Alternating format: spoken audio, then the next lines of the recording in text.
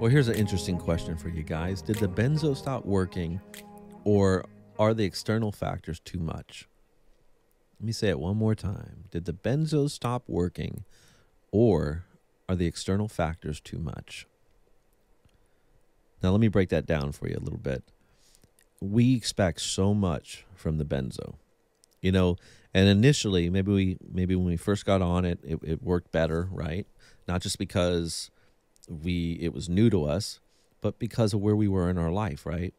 And so maybe we start at say 0.25 or 0.5 milligrams of Klonopin, and we're in our 20s or our 30s, and we're going fine through life, and then you know, we have some kids and the job and the divorce and this and that and the sickness and we lose a parent and we lose friends and life changes and, and life just keeps battering and changing and and here we are, you know, and, and as I said in other videos, we're not building resilience while we're on benzos so much, right? We're kind of just masking and, and kind of putting, you know, a film over that stress, that stress response system.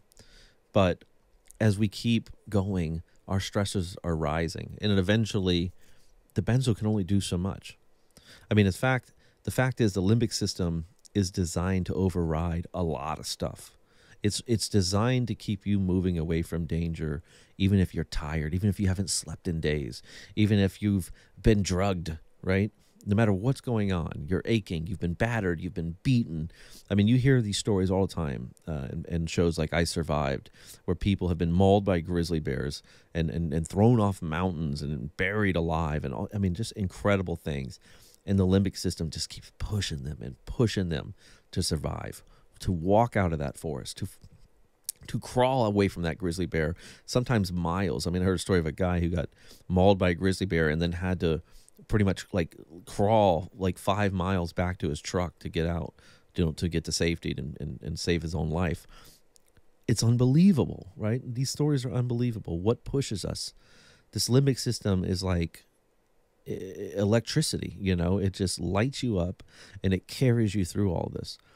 Now that's an, an you know pretty damn extreme situation, but that would happen if that guy had say you say you were going to go to sleep at night, you were camping out in the nature, and you popped your Xanax for sleep or your whatever your benzo is, you were just going to sleep, and a bear came in and started just attacking you, and he he just ripped you up, and then and ran away. That fight or flight center, you know, that limbic system will override that benzo. You're not going to just be laying there all tranquilized, sort of relaxed and half asleep as a bear is eating you, right? It, it's going to override every damn thing. I don't care if you took NyQuil or what. You are suddenly going to be very awake and and uh, more than awake. I mean, every body, every cell in your body is going to be activated for survival. You know, I mean, all kinds of physiolog- physiological changes are going to happen immediately. So again, I beg the, it begs the question: Did the benzo stop working, or the external factors too much? So as we get older and, and our and our stressors are rising and rising, and we're still on that point five, and we're still expecting it to do what it always has done. Well, but things are not maybe not the same as they've always been, right?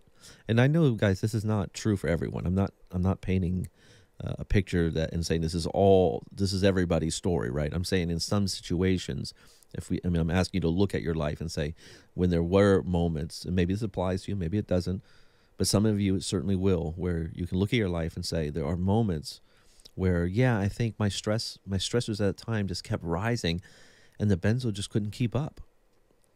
Right. So it wasn't that the benzo stopped working; it, the, the factors kept rising. Now you add another caveat to this, and this is where every one of us get pulled into this this dark place um, uh, and, and, and especially in the benzo communities we're all familiar with this is where the fear, the the narrative of benzos comes into play. This is why I say people who have been drug addicts actually do better coming off of benzos because they're not on the forums. They don't know anything that could go wrong. There is no fear to the limbic system. They just endure the taper hell and they get better because they always expected to get better and they just figured they would get better, right? And the limbic system says, "Okay, great." Very true with uh, insomnia. You know, to to endure one night uh, of bad sleep or no sleep, it's like, okay, no big deal. you know, it's not until you have multiple nights or until you start reading or understanding, oh, there's this thing called insomnia and it's like a disorder and oh my God, this could stay. And and it's the fear, it's the fear that grows in the narrative of not sleeping that then kind of creates this pathway to the limbic system. And it, it's like a road. And now we can start traveling this road back and forth, easier, easier, and easier, right? And this is what's happening with the benzos. It's like all these roads are being formed. What if I don't heal? What if it takes me eight years to heal? What if, as I'm tapering, when I get lowered, you know, what's going to happen? And I heard Sally in the forum said when she jumped off, things got worse. And John in the other forum said when he was three months off, and then suddenly things got worse. And you're thinking about all this horrible stuff, whether it's true or not. And, and there's always variables to these stories, by the way, to everyone's stories, right?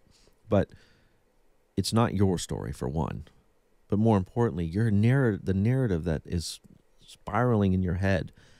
The limbic system's hearing this, and it's almost like you're walking through the forest, and this bear has been tracking you. It's already attacked you once, and you're trying to uh, to escape it, and you're just walking north, and you're thinking, "There's a road north. I know I'll hit a road, right?" But now somebody, you know, texts you and says, "Hey, I, I hear there's grizzly bears on that road up ahead of you." Oh my God, you think, you know, now I have a bear tracking me and you're telling me my only hope is to get out of these woods and hit that road. And now you're telling me there's bears on the road? You know, your limbic system hears this and it just says, I'm doomed. There's nowhere to go that I can be safe. There's no way out of this. Or another analogy would be like sitting in the water at night in the ocean and, and getting bumped by sharks and seeing fins every now, you know, you know, dorsal fins every now and then and it's like your limbic system just starts to paralyze. It starts to freeze up at this point. And so this freezing this this additional narrative that i'm talking about is what really um, starts to kind of put us in overdrive as far as uh, the limbic system and then overrides that that what the benzos can even do.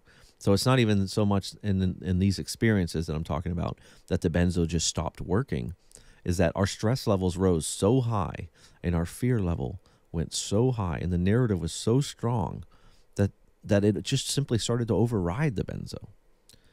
And so, okay, what am I saying? What what is the value in what I'm saying? What I'm saying is if you can break the narrative, if you can bring back down the fear, if you can manage the stress a little bit better, in many, many, many cases, guys, the benzo suddenly starts working better.